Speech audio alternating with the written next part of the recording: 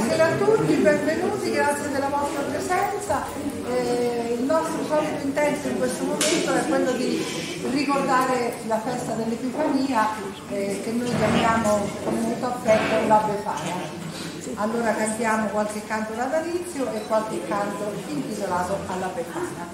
Il primo canto che vi facciamo ascoltare è un canto natalizio cecoslovacco intitolato A Betlemme Suonatori Thank you.